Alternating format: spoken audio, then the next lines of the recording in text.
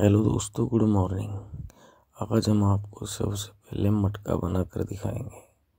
उसके बाद में हम आपको मिट्टी का प्लेन पाइप बनाकर दिखाएँगे, जिसमें कि पेड़ लगाया जा सकता है। आमतौर पर लोग उसे पेड़ लगाने के लिए काम में लेते हैं, घरों में पेंटिंग करके, सजावट के काम में लेना, काम में भी लेते हैं। अब देखिए, आप, आपके सामने मटका बन रहा है। ध्यानपूर्वक देखिए।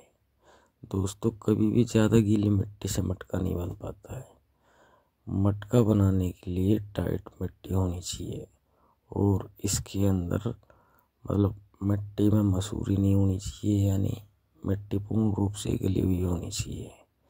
ना कि ऐसा नहीं कि बीच बार में इसमें कंकर, पत्थर ऐसा कुछ नहीं होना चाहिए। दूसरी बात, इसके अंदर कूड़े वगैरह जैसे कि लकड़ी वगैरह, ऐसा कुछ भी नहीं होना चाहिए। क्योंकि अगर इसमें ऐसा कुछ होता है तो जैसे हम इसको भट्टी में पकाते हैं तो जल जाता है जलने के बाद में उस मटके के अंदर छेद हो जाता है। इसलिए मिट्टी को पूर्ण रूप से साफ़ किया जाता है दोस्तों। देखिए अब आपके सामने मटका बन के तैयार हो गया है।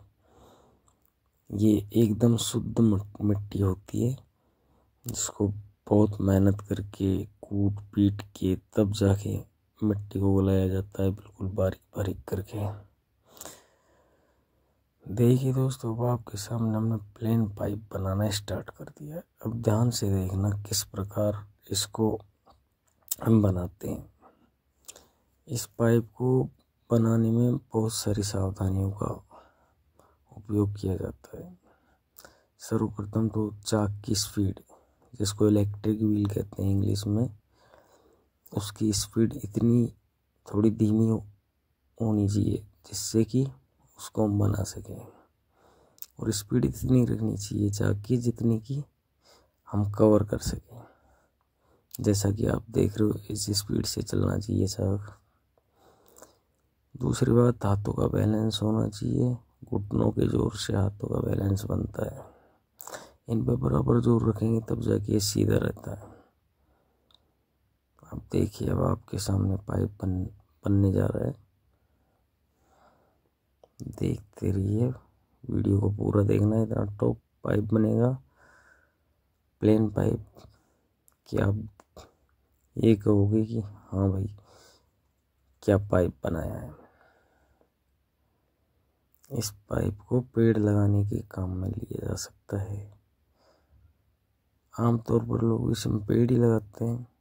आप किसी भी प्रकार का पेड़ इसमें लगा सकते हो। जैसे कि फूल फूल वाला पेड़ जैसे कि हम्म, पपीते का पेड़ किसी भी प्रकार का पेड़ लगा सकते हो। सजावटी बेले लगा सकते हो। जैसे कि मकान के गेट पर चढ़ाने के लिए मकान गेट को सुंदर बनाने के लिए उस पर बेल चढ़ाते हैं तो इस पाइप के अंदर वो बेल भी लगाई जा सकती है। देखिए अब आपके सामने। हर आदमी को ये लगता है कि इसको तो आसानी से बनाया जा सकता है, लेकिन ऐसा है नहीं। अगर आप बना कर देखो तब आप महसूस करोगे कि हाँ वाकई कुमार कितनी मेहनत करता है और कितनी मेहनत से ये बनते हैं। जैसा कि अब आप देख ही रहे हो।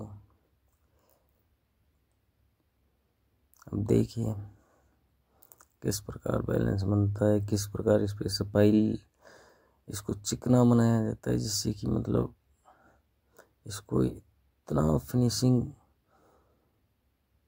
इतनी फिनिशिंग की जाती है इसकी।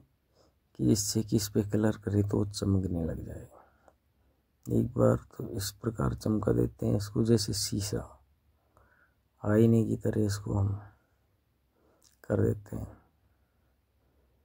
लेकिन दोस्तों, आज के टाइम में कोई कुमारों के बर्तनों पे लोग ध्यान नहीं देते। सीमेंट के गमले खरीदते हैं लोग, लेकिन मिट्टी के गमले में जो पेड़ लगता है, वो किसी भी प्रकार के गमले में नहीं लग सकता। मैं किसी की कोई कट्टी छट्टी या कोई किसी भी प्रकार के आइटम की बुराई नहीं कर रहा हूँ, लेकिन सच्चाई यही है कि जो मिट्टी के बर्तन का उपयोग अपन करते हैं, उससे बढ़िया किसी चीज़ का उपयोग उचित नहीं है।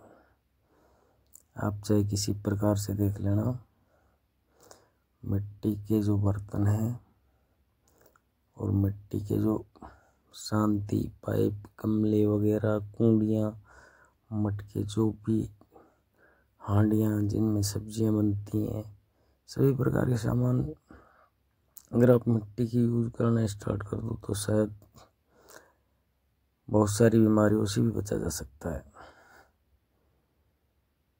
इस प्रकार दोस्तों, आप देख रहे हो, गमला बन के तैयार हो गया है। ये देखिए, प्लेन पाइप बन गया है।